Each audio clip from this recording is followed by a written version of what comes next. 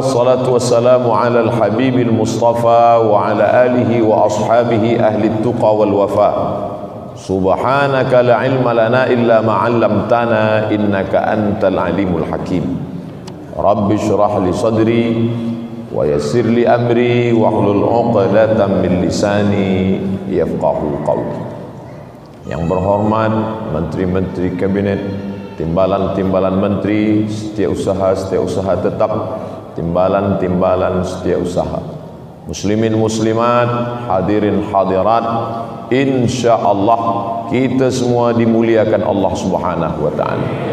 Amin. Ya rabbal Ucapan yang kita terima ketika masuk ke dalam surga sama seperti kalimat yang keluar dari mulut semasa kita awal bersua dan berjumpa. Selalu kita baca dalam surah Yasin, Salamun qawlam min rabbir rahim. Tiga kali kita ulang. Salamun qawlam min rabbir rahim. Salamun qawlam min rabbir rahim. Kenapa kita ulang tiga kali? Sebab Nabi Muhammad sallallahu alaihi wasallam bila dia bertemu dengan ayat-ayat yang menyenangkan hati selalu dia ulang-ulang. Maka dalam doa khatam Quran ada bunyi kalimat Ya Allah ampunkan silap salah kami bila manakala kami baca ayat yang menyenangkan hati tentang surga kami tidak memohon dan manakala membaca ayat tentang azab kami tidak minta jauhkan daripada azab. Itulah salah sebab satu sebab mengapa kita ulang-ulang beberapa ayat yang menyenangkan hati. Salamun qawlan min rabbir rahim dalam ayat lain wasiqal ladzina taqaw rabbahum ilal jannati zumara hatta idza ja'uha. Ketika sampai di pintu surga wa qala lahum khazanatuha. Penjaga pintu surga berkata salamun alaikum tibtum fadkhuluha khalidin. Ucapan yang kita terima masuk surga salam Allah yang kita sembah Allahumma antas salam. Tempat yang akan kita diami nanti wa adkhilnal jannata daras salam. Tapi beruntung orang Brunei belum masuk surga sudah duduk di Darussalam. Brunei Darussalam.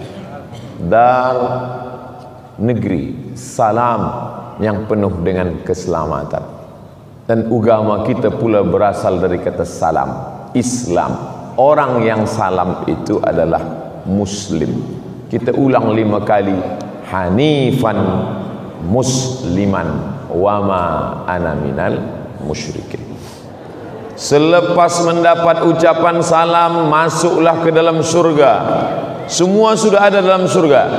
Jannatin tajri min tahtihal anhar ada sungai-sungai ada taman-taman yang indah di bawahnya mengalir pula air-air.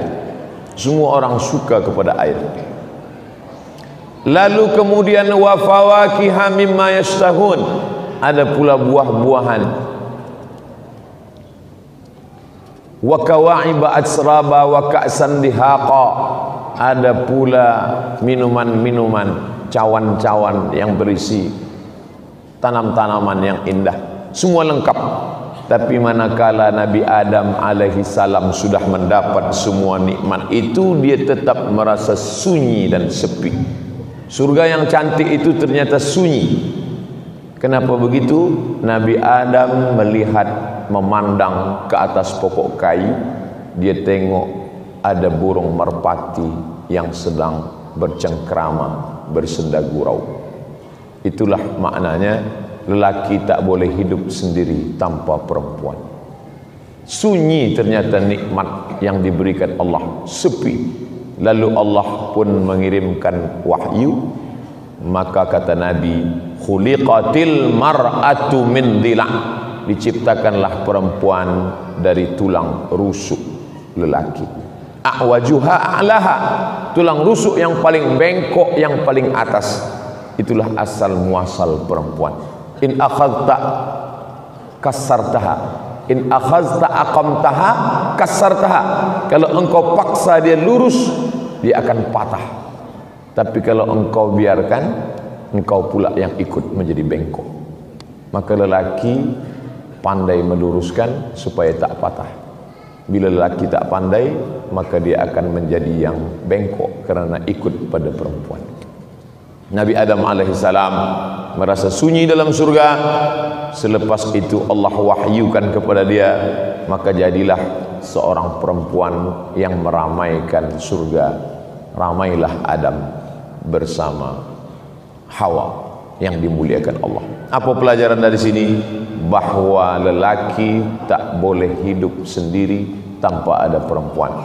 Itulah maka sekarang kita lihat di dunia ini ada perempuan yang suaminya meninggal tapi dia boleh hidup sendiri membesarkan anak-anak. Single parent. Tapi lelaki tak boleh hidup sendiri. Menurut survei hitungan duda lebih banyak mati daripada janda yang cakap macam tu bukan saya ada doktor profesor doktor Suhaimi namanya dia panggil saya Ustaz Somad mana lebih kuat lelaki apa perempuan? Kata saya kita lah lelaki. Ayat pun berkata ar-rijalu qawwamuna 'alan nisa. Lelaki lebih kuat daripada perempuan. Kata dia ustaz mungkin ayat itu tak salah tapi sepengetahuan saya menurut gen menurut ilmu kedoktoran perubatan maka perempuan jauh lebih kuat perempuan lebih kuat daripada penyakit. Perempuan lebih kuat menahankan hidup. Dan kata dia pula dari dialah saya ambil cakap ini bahawa bila lelaki kehilangan istri dengan seorang perempuan kehilangan suami berbeza. Perempuan meninggal suaminya dia boleh hidup sendiri membesarkan anak-anaknya. Tetapi lelaki kadang belum meninggal pun dia dah mati duluan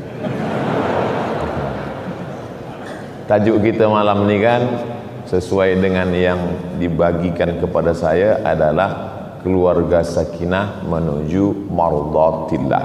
Tentu kita tengok pada Nabi Adam alaihi salam. Saya akan bicara malam ini sesuai yang diberikan maklumat kepada saya 60 minit. Lepas itu saya akan jawab soalan-soalan yang boleh saya jawab. Yang tak boleh saya jawab saya akan bawa balik ke Riau Sumatera saya akan buka kitab balik buka buku balik mungkin tak terbaca nanti saya akan rekodkan buatkan video tonton di Ustaz Abdul Somad official channel jangan lupa subscribe like and share.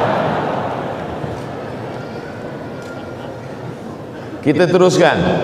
Maka Adam alaihi salam tak boleh bersendirian.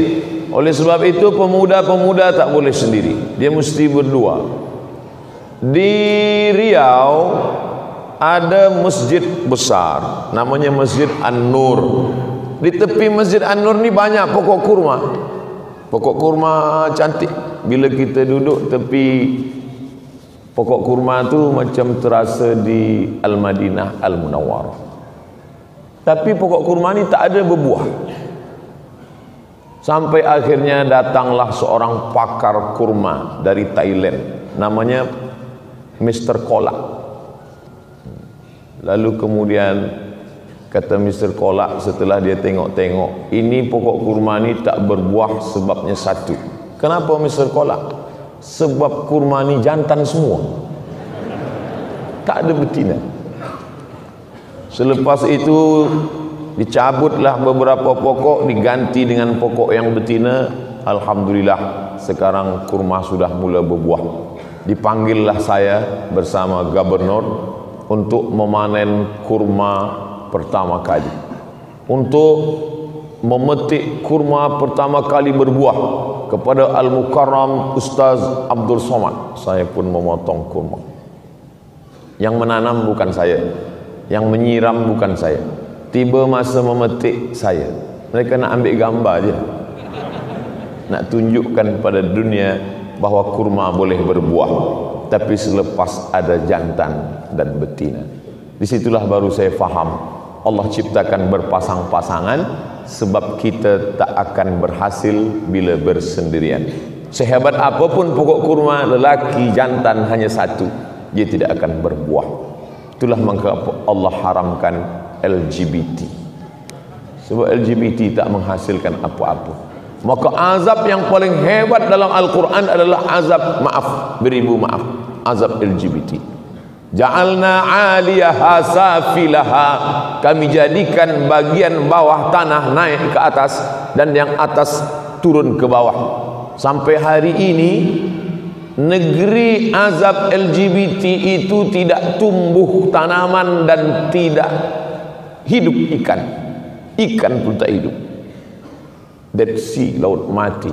Bahrul Mayyit Bahrul Laut Mayyit mati. Sakingkan masinnya. Allah nak tunjukkan Begitulah azab yang ditimpakan Allah subhanahu wa ta'ala. Tapi hari ini Na'udzubillah. Mudah-mudahan Allah selamatkan anak cucu kita daripada penyakit. Maka lelaki Bila dah sampai usia menikah Kata Nabi Ya ma'asyara syabab Wahai para pemuda Man istata'a minkumul ba'ah Sesiapa sahaja di antara kamu yang lah ba'ah Makna ba'ah kudrah Mampu Falyatazawwaj Menikahlah.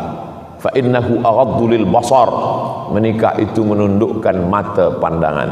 Wa ahsanu lil farj Menjaga kemaluan Faman lam yastati Sesiapa sahaja yang tak mampu fa'alaihi bisawum hendaklah dia banyak-banyak puasa sunat.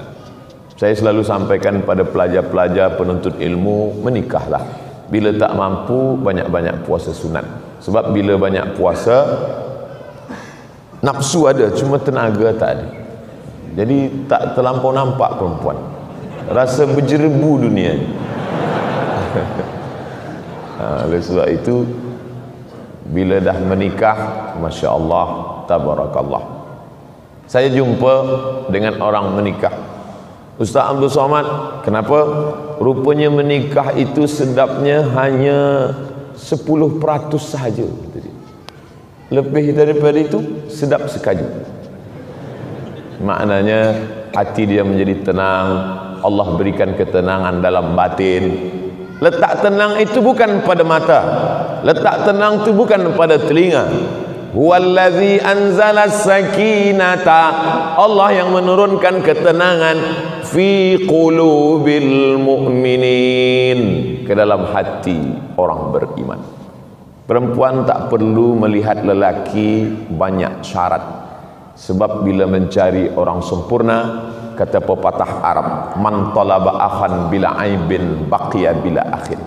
Kalau nak mencari lelaki sempurna seumur hidup tak akan berlaki. Mudah-mudahan selepas tazkirah malam ni esok standar agak turun sikit. Sebab banyak orang nak cari perfect sempurna. Mana ada? Perempuan pun lelaki pun macam tu juga dia selalu nak mencari sempurna. Ustaz Abdul Somad. Ya.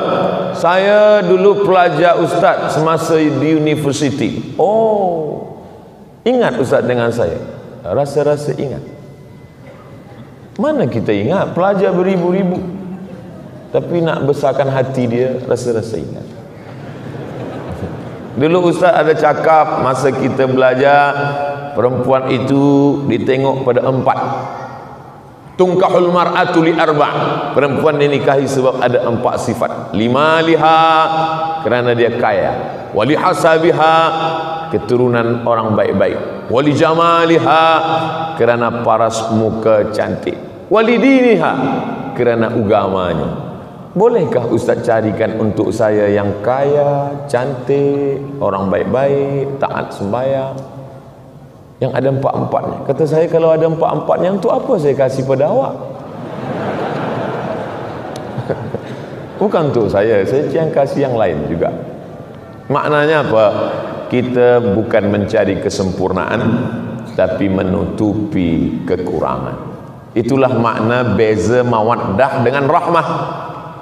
Wa ja'ala bainakum mawaddatan wa rahmah dijadikan Allah dua makhluk yang berbeza itu. Ada lelaki ada perempuan ada belia ada gadis ada pemuda.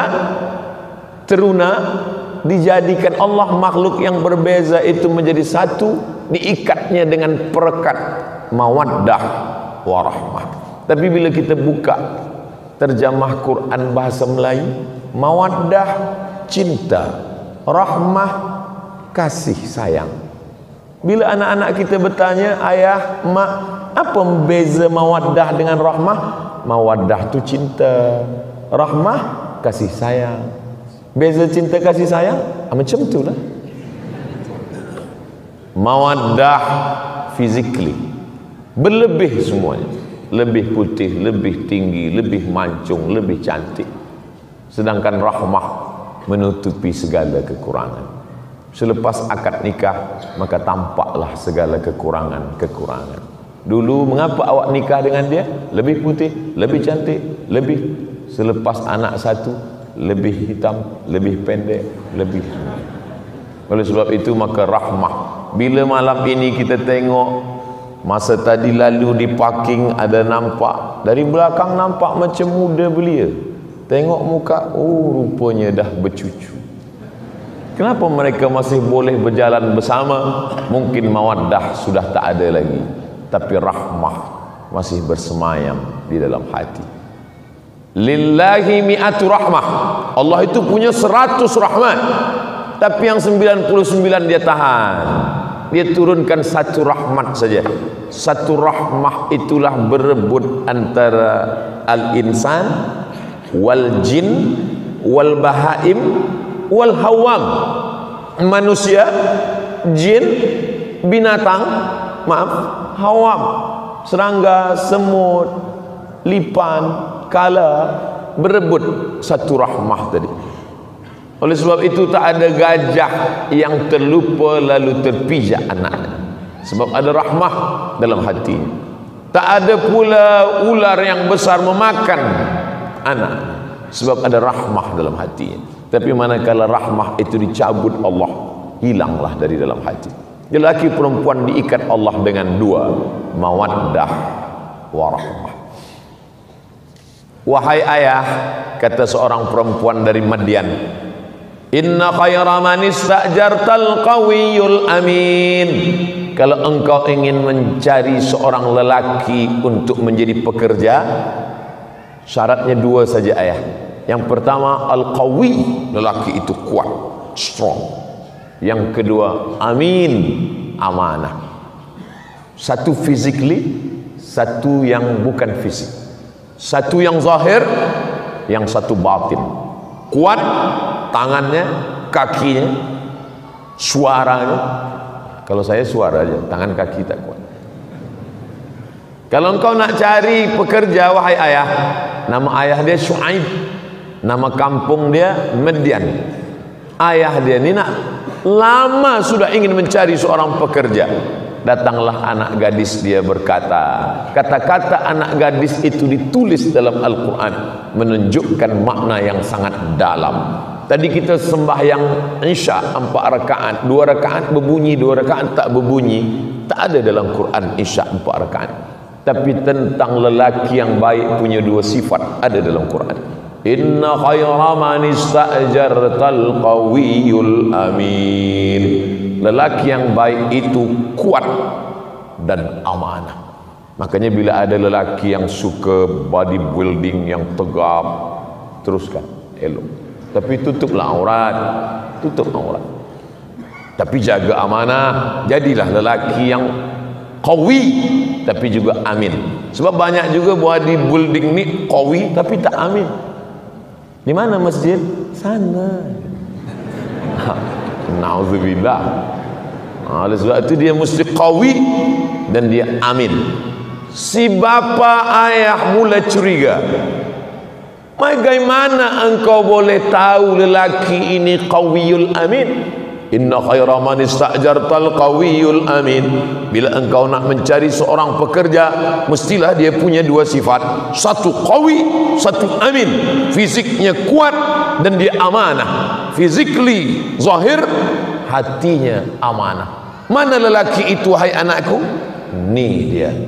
Lelaki itu ada di rumah ini sekarang. Musa alaihissalam. Maka Su'aib mulai rasa curiga pada anak gadis dia. Engkau dah lama ke berkawan dengan dia? Dari mana engkau tahu? Kata anak Su'aib, aku baru berjumpa dia tadi masa mengambil air di perigi.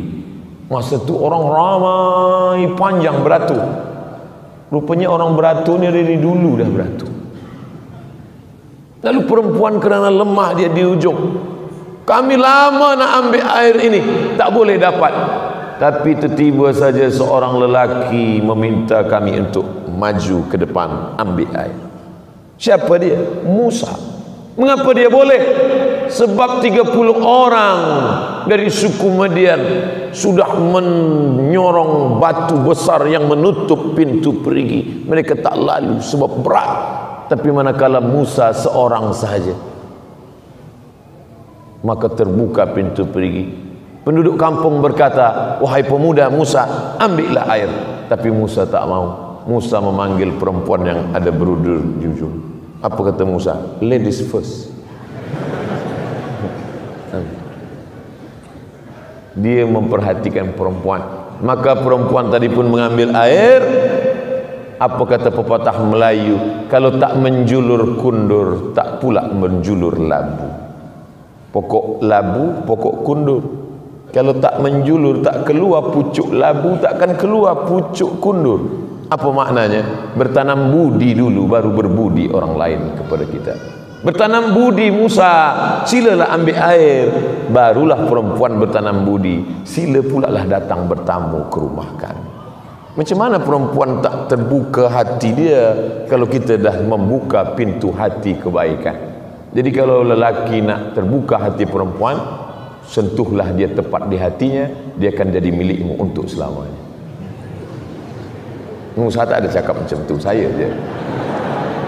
Nah, selepas itu mereka pun pergi menuju rumah perempuan yang nak berbalas budi tadi budi sikit aja. Tapi dikenang sepanjang masa. Pisang emas bawa belayar masak sebiji dalam peti. Hutang emas dapat dibayar. Hutang budi dibawa mati. Lepas itu di tengah jalan Musa di belakang. Perempuan tadi di hadapan. Sebab Musa tak tahu jalan. Dia yang punya rumah. Dia akan membawa Musa bertamu ke rumah berjumpa dengan ayahnya. Ucapan terima kasih kepada orang yang sudah berbuat baik lalu kemudian angin datang bertiup kencang. Musa menundukkan pandangan. Sebab maaf nampak lekuk tubuhnya. Musa pergi ke depan kata Musa hai perempuan mundurlah engkau ke belakang. Biarlah aku yang di depan. Nanti bagi tahu di mana letak jalan kiri atau ke kanan. Ayah aku tahu dia amanah. Sebab masa angin kencang bertiup dia suruh kami ke belakang begitu perempuan zaman dulu. Bertiup angin kencang baru nampak lekuk tubuh. Sekarang tak ada angin pun nampak. Memang zaman kita ni. Kalau zaman Nabi dulu akhir zaman kita ni memang dah ujung-ujung ujung-ujung zaman.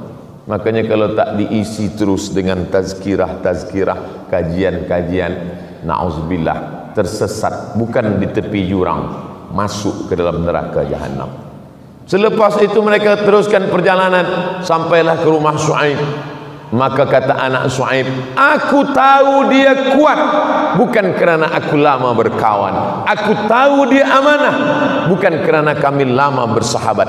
Kejap saja tak sampai satu hari tapi kerana melihat sifat-sifat. Apa maknanya? Tak perlu lama-lama ta'aruf tak perlu lama-lama bertunang yang penting kita dah tahu bahawa dia kuat dan amanah. Ada lelaki ni tak kuat tapi dia amanah. Okey lah. Ada dia tak amanah tapi dia kuat okey juga. Kita mungkin boleh bawa dia pengajian tazkirah. Sudahlah tak kuat tak pula amanah. Carilah yang lain. Bunga bukan setangkai kumbang bukan seekor. Patah tumbuh hilang berganti hilang satu tumbuh seribu cari dulu yang lain. Tak juga dapat balik yang awal lagi. Nah itu lelaki dipandang oleh perempuan. Maka Allah subhanahu wa ta'ala pertemukan mereka. Ada jodohnya. Maka kerana berjodohlah orang bersua bukan kerana berjumpa itu lalu kemudian berjodoh kalau kita tengok bagaimana pertemuan perjumpaan Musa alaihissalam dengan anak Shu'aib Musa duduk di istana Fir'aun yang megah. Anak Su'aib di kampung Badui yang tak ada apa-apa. Tapi Allah pertemukan. Bagaimana cerita Allah membuat? Fawakazahu Musa. Ada dua orang yang sedang berkelahi. Satu rakyat Fir'aun yang satu Bani Israel Musa melerai. Janganlah kamu berkelahi kata Musa. Tapi mereka berdua terus juga bertinju berkelahi. Janganlah berkelahi kata Musa. Mereka tak nak berhenti. Fawakazahu Musa. Musa pun meninju salah satu dari mereka. Mati. Heran orang. Mengapa Musa ni sekali tinju mati? Iyalah. Batu 30 orang tak boleh. Dia seorang saja boleh. Patutlah mati jadi bila nak cari lelaki yang kuat, cari yang sekali tinju mati. Musa alaihissalam. Tapi ternyata di balik kekuatan itu ada musibah besar datang. Apa dia? Mati dan bila membunuh rakyat daripada Fir'aun berarti membela Bani Israel ini akan mendapatkan hukuman yang luar biasa. Maka terusir Musa dari kampung Fir'aun. Lari Musa bernaung di bawah pokok kayu yang rimbun. Masa Nabi Muhammad sallallahu alaihi wasallam Isra Mi'raj Subhanalladzi asra bi'abdihi laila minal masjidil haram ilal masjidil aqsa. Masa di atas burak. Nabi Muhammad SAW menengok di bawah ada pokok kayu.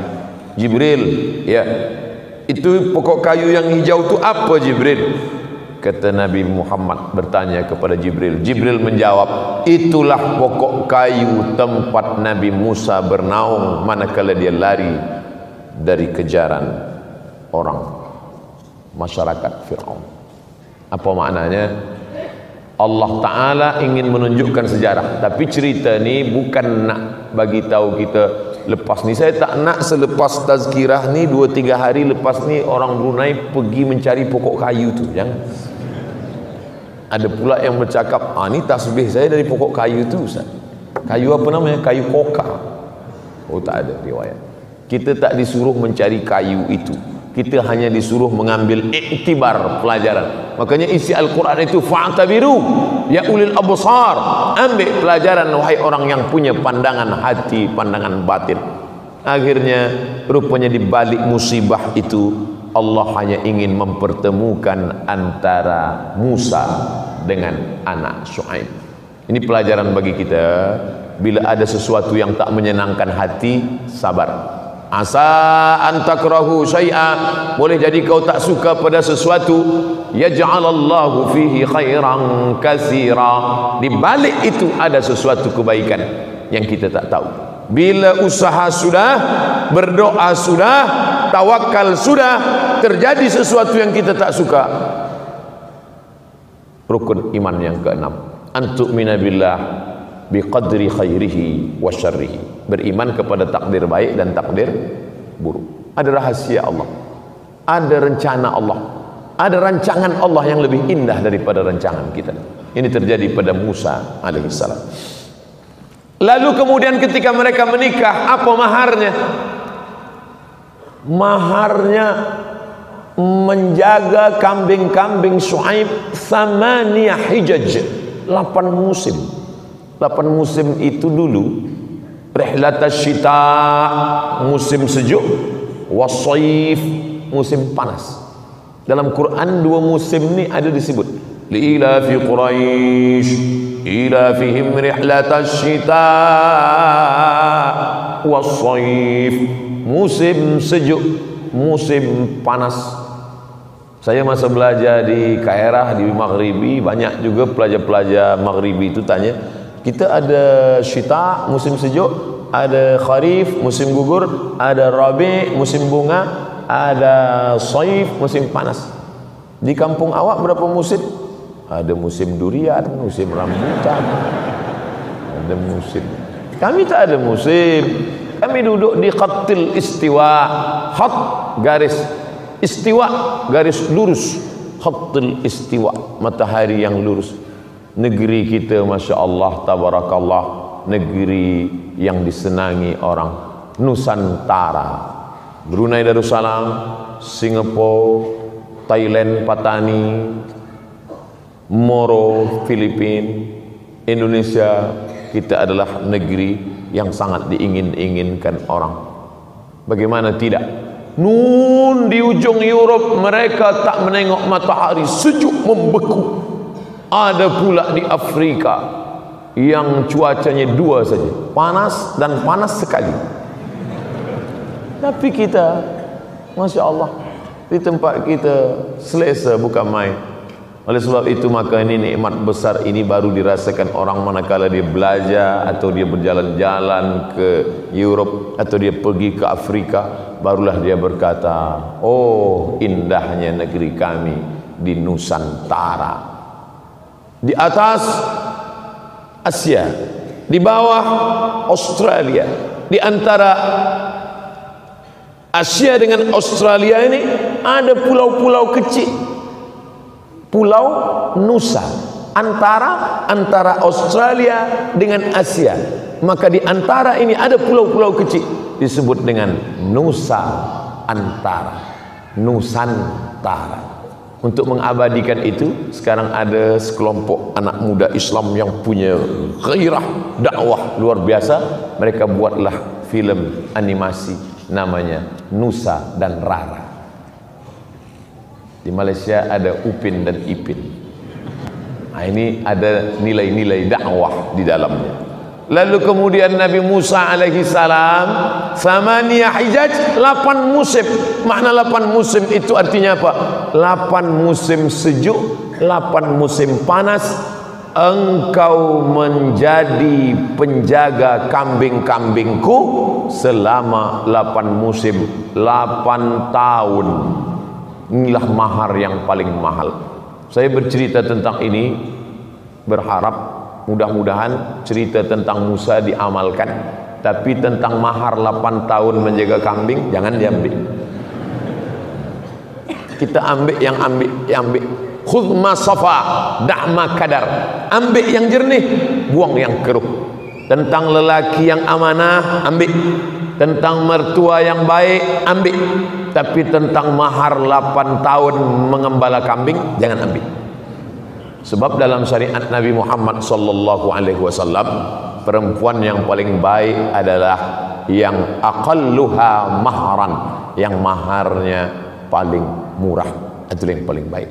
Makanya dalam contoh hadis hasan hadis paling tinggi sahih. Di bawah sahih hasan.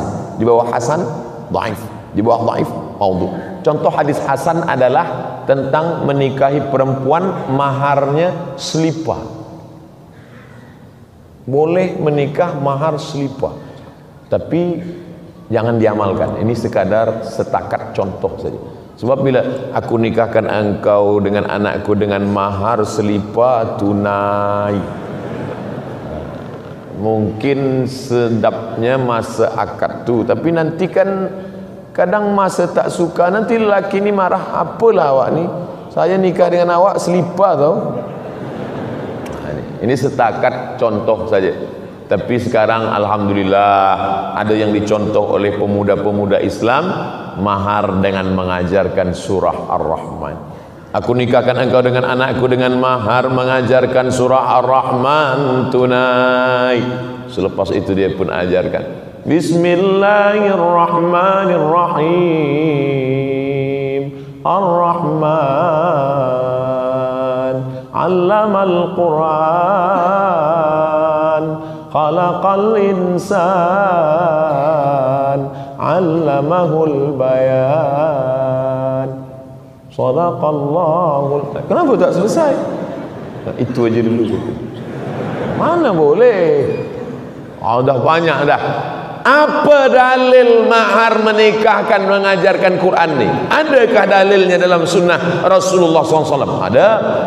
Masa Nabi bagi tazkirah, tegak seorang perempuan. Inni wahabtu laka nafsi.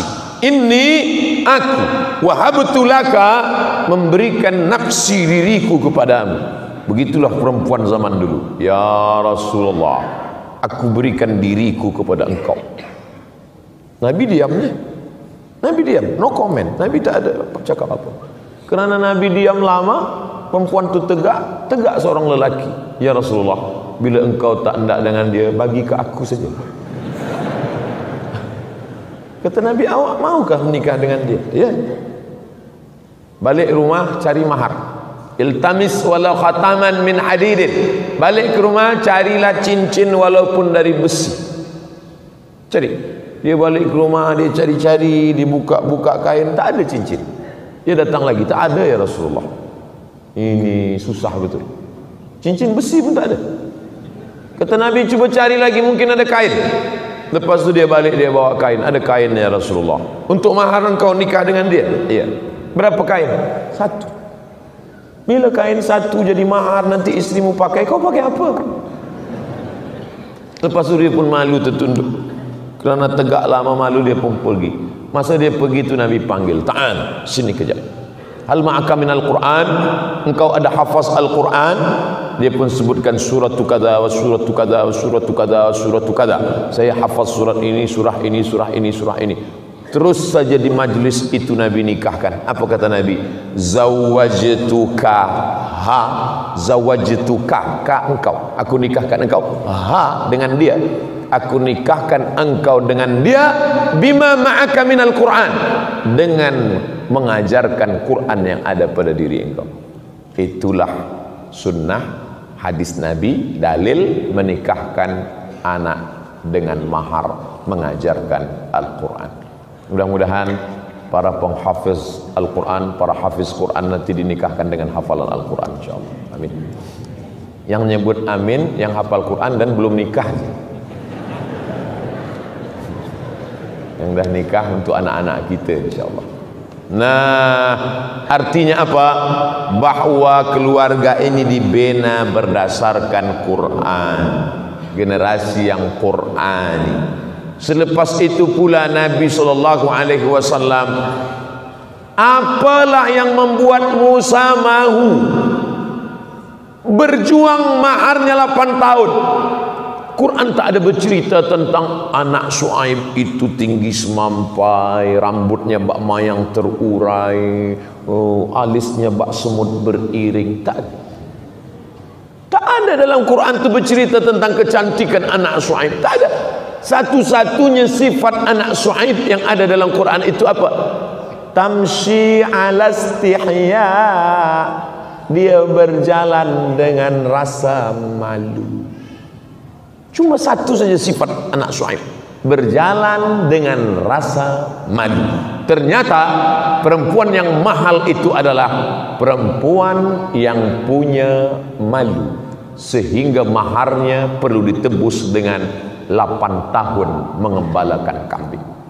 Jadi pemuda-pemuda Bila nampak perempuan ada rasa malu Siapkanlah mahar yang mahal karena itulah yang dapat membuat anak kita punya malu cucu kita punya malu. Dan dalam Islam diajarkan al-haya malu syu'batun minal iman. Sekarang kita berjumpa dengan perempuan-perempuan yang tak ada malu sama sekali. Pakai kain yang belum siap dijahit. Tak ada malu. Saya berapa kali naik pesawat terbang mesti menunduk kita pula yang malu menengok dia. Ha, dia tak ada malu. Tapi naik pesawat di Raja Brunei Masya Allah pakai jilbab pakai hijab. Maka tadi masuk mata saya tu. Tempat lain saya tu. Sebab dia pakai hijab pakaian dia tak sempit. Artinya apa? Bahawa dengan kekuasaan kita boleh berdakwah Ustaz Somad berdakwah mana boleh? Takkan saya bagi tazkirah di pesawat? Assalamualaikum Ya ayuhallazina amanu. Aulah kata turun-turun apalah awak ni? Artinya apa? Ini menunjukkan perempuan yang punya malu boleh ditebus dengan mengembala kambing 8 tahun lamanya. Sekarang lelaki apa kata dia? Lautan kan ku seberangi, bukit kan ku daki, masjid ku lalui. Eh, mana boleh? Kalau bukit nak didaki, lautan diseberangi, mestilah lelaki yang kuat dan amanah yang salat berjamaah di masjid perempuannya pula punya rasa malu. Perempuan yang punya malu ini adalah perempuan yang amanah. Orang yang menjaga amanah itu dalam Islam disebut dengan al-amin. Lelakinya al-amin perempuannya aminah. Perempuan yang aminah melahirkan anak lelaki bergelar Al-Amin yang menggelar Al-Amin itu bukan Allah. Yang menggelar Al-Amin itu bukan sahabat. Abu Jahal, Abu Lahab memanggil dia Al-Amin. Terpuji dia. Dia lahir dari perempuan Aminah. Tapi jangan balik dari sini nanti puan-puan Tuan-tuan bercakap kepada isteri di rumah Patutlah anak kita tak al-amin Sebab engkau tak aminah Nanti puan pula balas balik Anak kita memang tak amin. Aku tidak aminah Sebab engkau bukan Abdullah. Ah, Saya ingin cuma nak membagi tahu bahawa lelaki yang amanah hamba Allah berjumpa dengan perempuan yang punya rasa malu aminah melahirkan anak yang terpuji di langit terpuji di bumi ya'ti min ba'dismuhu Ahmad. Ha mim dal. Alhamdulillahi Rabbil Alamin. Hamdu Terpuji. Ahmad terpuji. Muhammad dipuji. Tapi Nabi Isa berkata Ahmad Ya'ti min ba'dismuhu Ahmad. Akan datang Nabi selepas aku bernama Ahmad. Kenapa namanya tidak Musa tak bercakap? Kenapa Isa tak mengatakan? Akan datang Nabi selepas aku bernama Muhammad. Kerana dia masyhur di langit di antara malaikat Waktu itu belum ada kuku, belum ada bulu, belum ada darah, belum ada daging. Dia bernama Ahmad. Tapi selepas dia turun bersama manusia, dia bernama Muhammad. Sama-sama terpuji. Inilah nama yang Abu Jahal, Abu Lahab pun confused. Macam mana dia nak ejek olok-olok Muhammad? Abu Lahab masa dia marah, mana orang terpuji itu? Mestinya kalau kita marah, mana orang yang tercela itu? Mana orang yang jahat itu? Tapi menyebut nama dia pun tetap terpuji. Semarah-marahnya Abu Lahab tetap panggil dia Muhammad. Maka bila kita nak anak kita tetap dipuji oleh musuhnya, musuhnya marah pun tetap memanggil dia. Mana Muhammad? Mana manusia yang terpuji? Musuh-musuh saya yang membuli saya, yang mengejek saya, tetap memanggil saya mana hamba Allah tadi Abdus Somad hamba Allah. Bila dia marah dia tukar nama saya. Mana hamba setan tadi? Tapi nama kita tetap hamba Allah. Maka nama yang paling baik adalah Muhammad Ahmad Abdullah Abdul Rahman Abdul Rahim Abdul Somad Abdul-Abdul yang lain juga. Karena kebetulan nama saya nama saya saya sebut Nah, selepas itu lahirlah anak tadi, dibisikkanlah ke telinga dia. Kalimah pertama yang dibisikkan adalah Asyhadu an la ilaha illallah.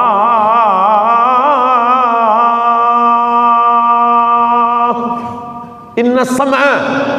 Telinga dulu. Wal basar. Baru ke mata. Manakala telinga masuk ke cakap masuk ke telinga dia terbuka biji mata dia menengok wajah ayah dia. Oh itu yang berbisik. Masuk ke dalam hati dia. Makanya dalam Quran selalu didudukan sami'an basira. Maha mendengar maha melihat. Inna khalaqanal insan. Kami ciptakan manusia Min nutfatin Maaf Cairan Amsajin. Kami campur Nabtalihi Kami uji. Faja'alnahu sami'an basira. Bisa mendengar Boleh mendengar Boleh melihat. Anak kecil Pertama kali mendengar. Tapi matanya belum lagi pandangannya sejengkal saja tak nampak. Tapi matanya rabun sayu mulai melihat wajah yang membisikkan ke telinga dia saya manakala anak saya lahir saya sendiri yang mengazankannya. Ke telinga dia sunnah. Hadisnya hadis hasan. Disebutkan oleh Imam Abu Isa ibn Sawr At-Tirmidzi dalam Sunan At-Tirmidzi adzana Rasulullah sallallahu alaihi wasallam. Nabi mengazankan Sayyidina Al-Hasan anak Fatimah anak Sayyidina Ali. Ke telinga Hasan azan salah seperti azan salat. Itu bisikan yang pertama tapi bagi anak yang baru lahir saja. Jangan anak yang dulu lupa azan balik dari sini nak diazankan pula. Asyhadu an la ilaha illallah. Apa ya ni dah besar? Kita azankan itu bisikan yang pertama ke telinga dia. Selepas itu barulah yang lain-lain. Walaupun saya sayang pada anak saya saya nak bawa ke Brunei Darussalam lepas tu dia lahir takkan saya bisikan aku nak bawa engkau ke Bandar Seri Begawan. Nanti. Kita nak kirim dia ke Al-Azhar Kaherah. Nanti. Bisikan yang pertama adalah la ilaha illallah. Akidahnya. Akidahnya yang pertama kali. Makanya kata Nabi Yaqub alaihissalam ma ta'buduna min ba'di. Nanti kalau ayah mati kalian akan menyembah apa? Akidah makanya Nabi Muhammad sallallahu alaihi wasallam ketika ditanya oleh Jibril mal iman? Akidah selepas iman mal Islam? Ibadah. Selepas Islam mal ihsan? Akhlak. Tiga yang ditanamkan pada anak. Pertama akidah yang kedua ibadah yang ketiga adalah akhlakul karimah lahirlah Sayyidina Al-Hasan Sayyidina Al-Husain contoh anak-anak yang lemah lembut Hasan Husain berjalan dia tengok ada orang tua mengambil air sembahyang wudu. Salah berwudu. Anak soleh walaupun dia berilmu dia tidak berkata, "Hei orang tua, wudu engkau salah." Nah, Hasan dan Husain pura-pura belajar berwudu. Husain, tahu engkau bagaimana berwudu? Macam mana Hasan? Hasan mengajarkan Husain berwudu, mereka berwudu di hadapan orang tua. Orang tua tadi pun menengok, memperhatikan. Sadarlah dia, oh wudu aku salah. Air sembahyang yang kubuat selama ini salah. Salah bukan dari kata-kata. Sekarang ada orang berilmu tapi tak berakhlak. Hei, salah. Bukan begitu menunjukkan orang salah. Kalau Abdul Somad salah bagi tazkirah ini, Jangan tunjukkan kesalahannya di depan orang banyak. Bila engkau tunjukkan kesalahan orang depan orang banyak, saat itu engkau bukan perbaiki dia, tapi engkau sedang bukakan aib cacat dia. Tapi bagi tahu dia, Ustaz Somad, ya, ada yang saya nak bagi tahu sama Ustaz. Tapi kita nak bicara empat mata saja, boleh? Ah, jangankan empat, tiga pun boleh. Apa dia? Tadi masa Ustaz sampaikan tadi Ustaz salah. Mestinya Ustaz cakap macam ini. Nanti akan datang insya Allah. Jangan diam. Kerana diam adalah membiarkan orang terus dalam kesalahan. Hasan, Hussein, contoh anak yang menunjukkan kekeliruan orang tua tapi dengan contoh yang baik. Makanya dalam Islam diajarkan ud'u ila sabili rabbik ajak orang yang salah itu ke jalan Allah bil hikmah santun lembut. Wal mau'izatil hasanah suri tauladan yang baik. Kalau dia nak berdebat juga ada orang tidak puas dengan kata-kata mana hujjah awak? Mana dalil awak? Wajadilhum debat dia. Billati ahsan dengan cara yang baik tiba-tiba ketika Harun Ar-Rasyid sedang duduk raja Harun Ar-Rasyid datanglah orang marah-marah kepada Harun Ar-Rasyid hei Harun engkau raja yang zalim. Kata Harun Ar-Rasyid aku ini seorang khalifah. Dan aku ini tidak sebaik Musa Aku ini pula tidak sezalim Fir'aun dan engkau tidak sebaik Musa. Ingatkah engkau ketika Musa diperintahkan Allah datang kepada Fir'aun? Apa kata Allah? Wa qula lahu qawlan layina. Katakanlah kata-kata yang lemah lembut. La'allahu yatadhakkara aw yakhsha. Mudah-mudahan Fir'aun takut dan ingat Aku tak sejahat Fir'aun dan engkau tak sebaik Musa. Kenapa kata-katamu lebih kasar daripada kata-kata Musa kepada Fir'aun? Artinya dengan apa? Kelembutan, kebaikan menyentuh kata-kata orang. Kita sudah bercerita tentang suami, kita sudah membahas tentang istri, sudah membahas tentang anak. Sekarang membahas tentang cucu. Sampai kepada cucu kita bahas kalau umur panjang. Kita mesti bercerita tentang panjang. Bahawa selepas cerita ini lalu kita mati meninggal dunia niat kita sudah sampai insyaAllah. Nabi sedang khutbah di atas mimbar. Oh tinggi mimbar kita. Nabi sedang khutbah di atas mimbar. Mimbar Nabi ma baina baiti wa mimbari raudatun min riyadil jannah. Rumah Nabi sebelah kiri bila kita menghadap kiblat mimbar Nabi. Nabi khutbah di atas mimbar, di sebelah kanan rumah Nabi, di belakang rumah Nabi, rumah Fatimah bersama Sayyidina Ali bin Abi Talib. Nampak Nabi Hasan dan Husain sedang berkelahi merebut kain. Turun Nabi dari atas mimbar, sedang khutbah Jumat. Turun dari atas mimbar, dia lerai Hasan Husain, dia gendong berdua. Apa kata Nabi? Innama amwalukum wa auladukum fitnah. Memanglah harta dan anak ini ujian, ujian kita lagi. Apa maknanya? Sayangnya kepada cucu membuat dia turun daripada mimbar. Tapi dia nabi. Saya belum pernah buat lagi. Jangan kita khatib bawa anak khutbah turun. Gendong anak. Innama amwalukum wa auladukum fitnah. Kita tak sampai makam tu tapi Nabi nak tunjukkan. Nabi peluk Hasan, Nabi peluk Husain, Nabi cium Hasan, Nabi cium Husain. Ada orang Arab Badui di bawah. Apa kata orang Arab Badui? Aku anak lelakiku sepuluh. Satu pun tak pernah aku cium. Memang orang Arab Badui ini keras hati. Sehebat-hebatnya orang kita yang pakai tatu yang rambut panjang yang bisa hitam. Tapi kalau dah nampak budak kecil hilang beringasnya hilang marahnya. Bangkit lucu dia. Eh anak kecil kata. Tapi orang Arab Badui tak sepuluh anak dia lelaki. Satu pun tak pernah aku cium. Keluarlah sabda Rasulullah SAW apa kata Nabi? Ar-Rahimuna yarhamuhumur Rahman man la yarham la yurham. Orang yang tak ada rasa kasih sayang dalam hatinya maka Allah tak akan sayang kepada dia Makanya Nabi pun sayang kepada budak kecil. Manakala Nabi sedang duduk, di situ ada tempat air minum. Ada anak kecil.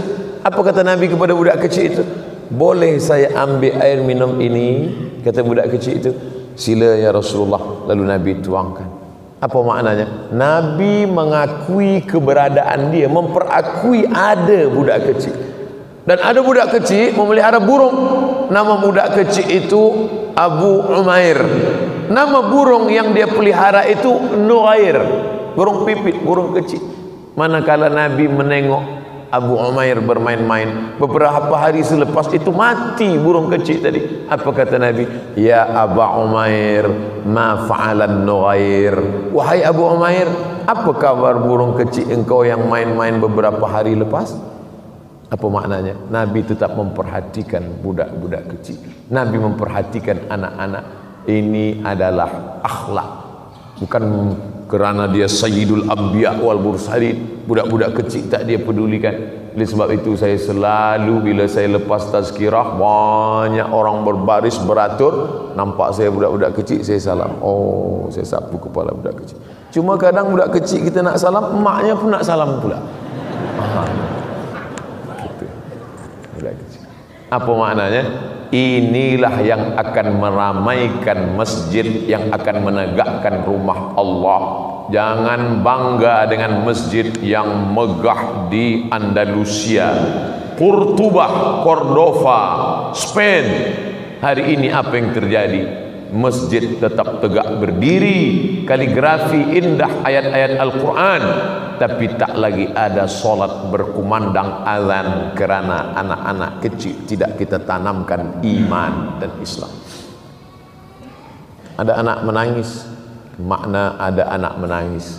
Ada anak lompat-lompat lari-lari. Maknanya masjid kita tetap akan ramai 100 tahun akan datang insyaallah. Amin bila di masjid itu sudah tak ada lagi anak suara kecil, tak lagi ada anak menangis, tanda kiamat dah dekat. Kita di Masjid Nabawi, Allahu Akbar, kata imam masa rukuk. Budak kecil. Budak kecil.